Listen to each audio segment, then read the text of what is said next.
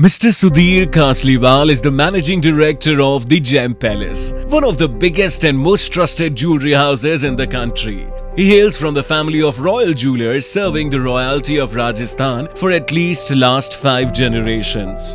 For his fine artwork in jewelry making, his forefather was invited to Pink City in the middle of 19th century by the then erstwhile ruler of the state in order to set up and develop the jewelry industry in Rajasthan. Born to Mr. Lakshmi Kumar and Mrs. Vimla Kasliwal in 1949, Sudhir is managing the business with his younger brother and nephews. Sudhir completed his schooling from St. Xavier's School in Jaipur and then did his graduation in commerce from Rajasthan University. It was in the year of 1970 when after completing his graduation, Sudhir joined the family business as the head of the family firm, the Gem Palace which is most famous for its exquisite pieces of precious jewelry, Sudhir has expanded the business over the years to 22 retail outlets throughout the countries, with 3 being in Jaipur alone and 7 in the most posh locations of the metros. Today being one of the major exporters of fine jewelry, Gem Palace is one of the most influential and valuable brands of Jaipur in terms of catering to foreign countries. The extent of company's success can be gauged by the array of felicitations and awards received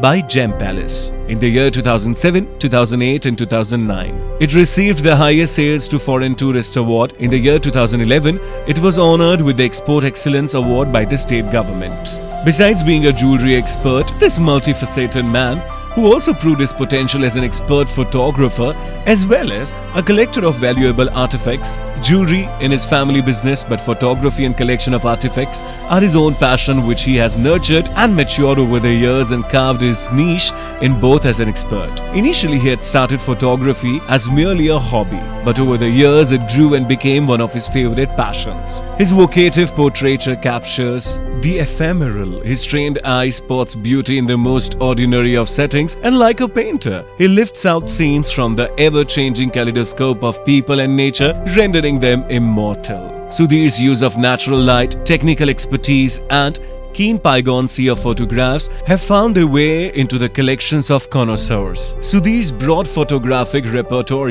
extends to and includes various Asian and European countries. Because of his confidence and boldness, he has held many one-man shows in countries like France, Italy, Mexico, Israel, apart from many big cities of India like Mumbai and Delhi, which has also earned him numerous awards and accolades for the mesmerizing photography that he captures so enthusiastically. His exhibitions have been looked forward to by art lovers and admirers. For the rare talent of a keen eye, he was commissioned by the government of Rajasthan to shoot aerial pictures of Jaipur city for a special brochure which was presented to President Bill Clinton on his visit to Jaipur in 2000. Another feather in Sudhir's hat is his collection of never-seen photographs of Maharani Gayatri Devi that were compiled and exhibited by him in Jaipur as a tribute to the legendary lady. Sudhir also has an undying passion of collecting precious and rare collection of paintings, miniatures, photographs, silverware and artifacts of heritage times from across the world. He proudly boasts of an exquisite collection of photographs of Jaipur city from the period of 1880 to 1930